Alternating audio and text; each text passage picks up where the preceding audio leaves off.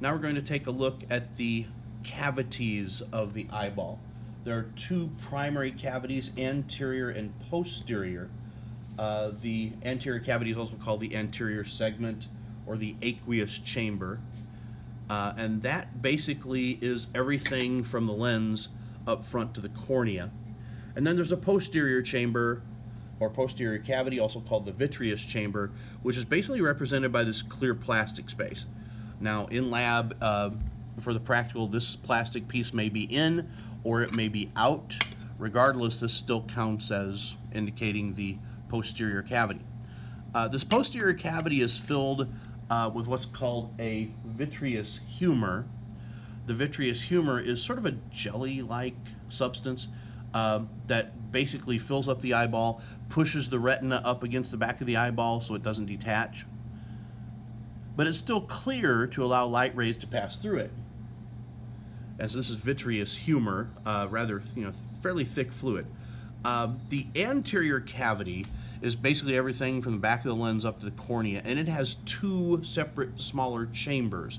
There's an anterior chamber that is between the cornea and the iris, so between the cornea and the iris.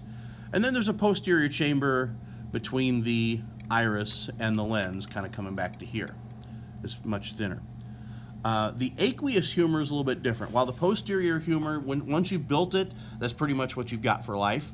The aqueous humor in the anterior cavity is actually replenished uh, quite often. The humor is actually created in the ciliary processes and then gradually circulates through the anterior cavity, even through this upper part here where the cornea is. The fluid is gradually drained off at the limbus, and in a previous video we mentioned the limbus. Um, inside the limbus there are little tubes called canals of Schlemm that drain off the aqueous humor. And the idea is that we're supposed to have a continuous supply of aqueous humor. We make it at the same rate we drain it off. What may have happened though is that sometimes the canals don't work very well and you wind up building extra pressure in the eye because of this because you're not draining off the fluid. This is basically the beginnings of glaucoma.